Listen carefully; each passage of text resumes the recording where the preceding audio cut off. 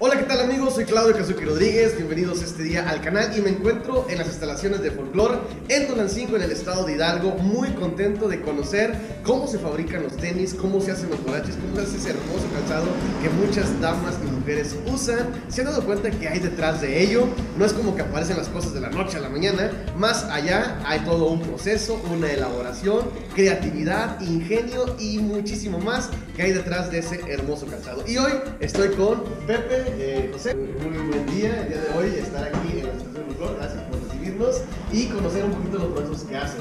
Eh, Pepe, la mente maestra, creativa de muchos diseños, de algunas de las, de las cosas que se hacen los tejidos, ¿cómo es que nace Folklore? ¿Qué, qué, qué pasa con todo? Eh, mi nombre es José Antonio Miranda Ajá, y pues todo comenzó hace como 3, 4 años más o menos. ajá, Eh, somos una empresa joven, somos una empresa que, que lleva poco tiempo realmente en el mercado. Nos ha costado mucho trabajo eh, encontrar el mercado en el cual posicionarnos, porque empezamos con una empresa que fabricaba calzado artesanal. Desde hace 3, 4 años la artesanía pues era ignorada. O sea, si acaso el 10% de la, de la población estaba interesada por un zapato hecho a mano. Entonces nos encontramos con una situación de que teníamos una pasión por lo artesanal, teníamos un deseo de, de crear cosas, de diseñar cosas, de, de aplicar lo que sabíamos de la artesanía, porque sabíamos, eh, teníamos técnicas eh, artesanales, de tejidos en hilo, técnicas en alambre, algunas técnicas de, de pedrería. Y, y esa necesidad de, de querer eh, crear productos y ofrecerlos a la, a, a la sociedad o buscar un mercado nos costó mucho trabajo porque pues empezamos a producir y no había un gran interés o una pasión por los productos que nosotros fabricamos. Oh. Entonces nosotros teníamos una gran pasión por todo esto, pero no había una respuesta en el mercado. Ujú.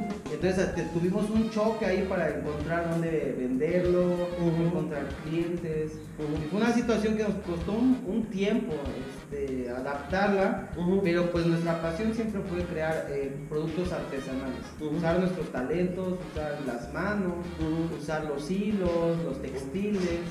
Y pues a través de esta búsqueda, pues empezamos a buscar mercados, empezamos a tratar de, de innovar en, en diferentes productos y pues nos llevó a la materialización de, de muchos de estos productos. Lo que observo y, y- y veo son aquí este algo de los, de los tejidos y vamos a, a conocerlos. ¿Cómo es que nace esta, esta técnica? Esto Ajá. fue un producto, este zapato lo vendemos muy bien, Ajá. eh, vendemos en, en lugares turísticos, Ajá. pero este zapato salió de la... fue producto de la casualidad, de la coincidencia, Ajá. porque nosotros manejábamos una sandalia que era muy sencilla y una vez estando con mi suegra le enseñaba los productos que, que fabricábamos Ujú. y ella lo jaló hacia adelante Ujú. y me dijo, oye, ¿por qué no haces un zapato cerrado? A las mujeres no nos gusta enseñar los pies, Ujú. ¿por qué no haces un zapato cerrado? Y solo jal- jaló el tejido y le dio la forma. Wow. Entonces salió de una, de una casualidad. Ujú. Y salió un producto muy bueno. Este producto, desde que empezamos, lo, lo hemos Ujú. fabricado y se ha vendido mucho. ¿eh? Hemos vendido miles de piezas y ha sido del agrado de mucha gente y fue mera coincidencia. Wow, qué padre. Y pues por si todo esto es hecho tejido a mano. Todo, todo se teje con los dedos. eh, pues lleva el trabajo de muchísimas personas. Pero al final sale un producto que, que al ser tejido, pues trae mucha, trae mucha esencia, trae un valor eh, agregado. Y pues así comenzamos, es como nosotros comenzamos con, pues, con el deseo, la pasión de, de emprender algo y pues todo esto que está aquí es producto de, de ese deseo, esa necesidad y de aplicar pues los talentos que Dios nos ha dado.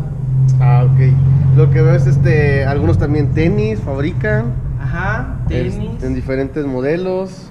Sí, o sea, poco a poco empezamos con modelos muy sencillos, muy básicos, eh, realmente algunos hasta mal hechos porque pues eh, nos faltaba mucho conocimiento, pero hemos ido aprendiendo un poco más, ha habido gente que nos ha apoyado en, en aprender más técnicas, más productos y pues la idea es mejorar cada día, mejorar cada día más y pues aumentar la línea de productos. Para nosotros pues es una línea artesanal, o sea, realmente máquina se ocupa muy poco, es más, más eh, todo lo relacionado a la artesanía. Mm, ¿Cómo es el nombre de folclore o por qué folclore? Eh, ¿Dónde nace el nombre? Pues eh, cuando empezamos a, a, producir el calzado, hubo personas que se nos acercaron para crear eh, proyectos productivos. Ah, Entonces nos pedían el nombre de la marca, un eslogan, todo eso, todo el desarrollo del proyecto. Entonces, pues buscando una, una palabra que, que integrara la pasión que teníamos, este, lo que queríamos proyectar, pues comenzamos a buscar palabras que hablaran acerca de, la unión, acerca de la unión de, la cultura, de la sociedad y la relación con la gente, porque nosotros creemos en la gente, creemos en, las, en las personas, creemos que no podemos solos, que se necesita tanto gente, tanto sociedad, como tanto aprovechar la cultura. Entonces buscamos una palabra que englobara todas esas cosas, pues buscando en el en el diccionario una palabra que engloba eso, eh, apareció folclore. Es una unión de culturas, de ideas, de personas, tradiciones, personas, de diseño y algo que es mexicano. Entonces, pues fue la palabra atinada, yo creo, para, para, este producto. Y bueno, me gustaría conocer más de los procesos, cómo es que se hace. Y por acá está, este es el taller también, aquí en la tienda. Estamos en tienda, y tienda y taller. Y bueno, por aquí vamos a conocer ahorita algunas de las tomas de los productos. Y para acá vamos a ir hacia el taller. Y acá se encuentra nuestra amiga Fernanda. Hola, Fer. Hola. Hola.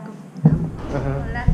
Sí, aquí estamos ya este, que es produciendo. Estamos produciendo tenis, estamos produciendo sandalia, que allá ya la vieron. Esta es una técnica con hilo. Ahí este, nos la tejen mujeres desde su casa y ya nada más vienen, lo entregan aquí y aquí lo, lo bueno, lo hacemos zapato y así es como queda este tejidito. Mm. Este se hace todo tejido a mano, con hilo. Así se inicia, se teje todo a mano y aquí ya elaboramos todo lo que es el zapato. También hacemos, metemos zapato con telas, diferentes diseños de tela, bordados, tela de cintura, mezclilla, lonetas y más tipo artesanal, todo es tipo artesanal, todo se corta a mano aquí. Ya es una vez cortado el zapato, todo se corta así a mano y quedan los cortes. Aquí se utilizan moldes y así está, telas de Mm. Una vez que están así, se pasa toda costura y ya comienza a agarrar forma. ¿Ya vio?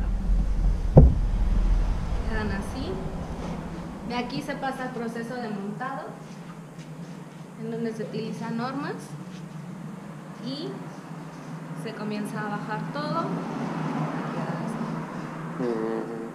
Este, y sacan las medidas hay de, para diferentes. Sí, sí, eh, tenemos medidas del 2 al 6 para dama y del 15 al 20 para niña.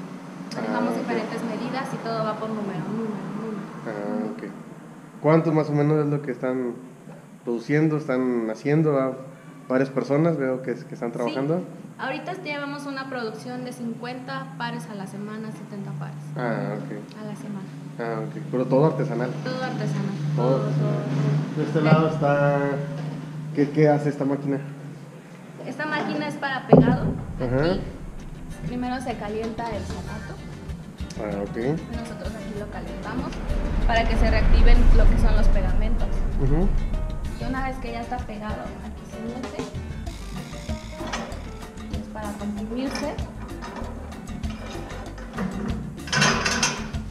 Se prende la compresora. Se sube. Ah, Y esto es para pegar. Wow, ya quedan de manera uh, profesional, por así decirlo. Pues los diseños están muy, están muy bonitos. Este, de este lado que hay más.